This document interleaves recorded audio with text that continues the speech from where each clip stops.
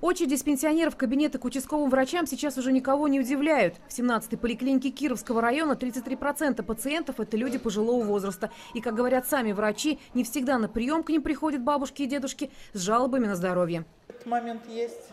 Иной раз ведь врача вызывать надо для того, чтобы поговорить, потому что одинокая бабушка, да, ей, в общем-то, не с кем э, и поговорить. Мало того, они даже обращаются просто вот к нам, вот в приемную звонят для того, чтобы поговорить, рассказать свои проблемы. Талончик участковому терапевту на вес золота. К тому же врач не всегда может уложиться в положенный четверть часа. График приема ломается, а за дверью уже очередь. А нужно еще принять больных, что пришли без записи. В листе ожидания пенсионеры, которым всего-то надо выписать рецепт на получение бесплатных лекарств. Люди трудоспособного возраста не всегда могут попасть, потому что вот он заболел сегодня, ему надо сегодня это обратиться. Кардинально изменить ситуацию помогли бы так называемые отделения медико-социальной помощи для приема исключительно пенсионеров. Такие уже пять лет работают в поликлиниках Тюмени. Казанские врачи хотят перенять опыт своих коллег. Фельдшер ему выписит этот рецепт, и тут же, опять же, фельдшер имеет право полностью, да, если пациент жалуется, какие-то есть, или измерил давление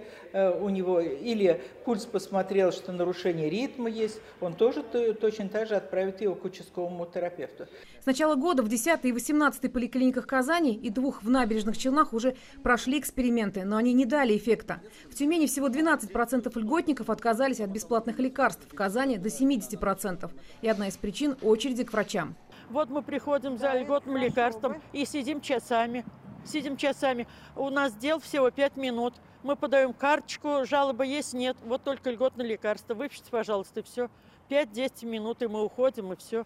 Хлопот добавляет отсутствие в Казани геронтологов, специалистов в области здравоохранения для пожилых пациентов. Как говорит Ирина Петулова, сейчас главное начать работу. Как показала прошлогодняя диспансеризация, в Кировском районе среди тех, кто побеспокоился о своем здоровье, лишь каждый третий пациент в возрасте от 40 лет. А ведь это трудоспособная часть населения, которая приносит доход в казну. Когда специальные кабинеты для пенсионеров появятся в казанских клиниках, конкретных сроков нет. А если они заработают, то посещение их пенсионерами не станет обязательным. Всегда будет выбор – пойти к фельдшеру на прием, либо на беседу к терапевту. Елена Горбунчикова, Роман Фенин, телеканал «Эфир».